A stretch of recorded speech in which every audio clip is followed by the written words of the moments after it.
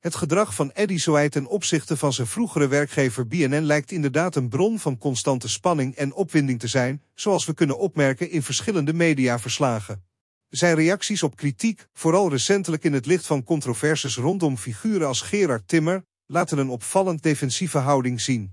BNN, ooit opgericht door de charismatische Bart de Graaf, stond bekend om zijn rebelse karakter en spraakmakende televisie.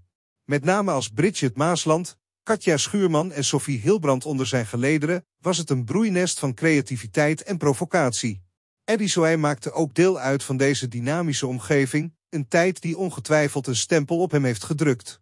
Nu, wanneer de naam BNN ter sprake komt, lijkt Eddie's reactie buitengewoon intens.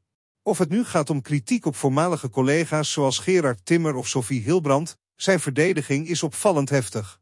Het recente vertrek van Timmer bij de NOS, na beschuldigingen over zijn rol in een mediarelatie, bracht Eddie's reactie op de voorgrond.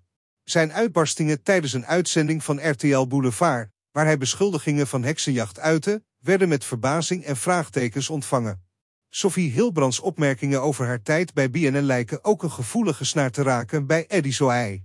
Haar suggestie dat het een omgeving was waarin vrouwelijke collega's niet altijd met respect werden behandeld, leek hem uit zijn evenwicht te brengen.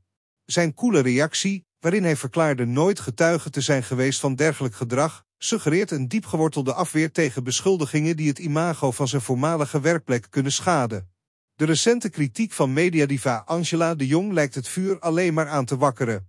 Haar opmerkingen over het belang van verantwoordelijkheid nemen binnen de omroepwereld lijken Eddie's standpunt verder te versterken. Zijn vermeende loyaliteit aan figuren als Gerard Timmer wordt in twijfel getrokken en de suggestie dat hij probeert vast te houden aan een status quo waarin hij zijn positie kan behouden, werd een schaduw over zijn motivaties. In de dynamische en soms genadeloze wereld van de media lijkt Eddie Zoey een centrale figuur te zijn geworden in een bredere discussie over verantwoordelijkheid en transparantie. Zijn emotionele reacties op kritiek suggereren een diepgaande verbondenheid met zijn verleden, maar ook een zekere kwetsbaarheid voor de steeds veranderende stromingen van de mediawereld.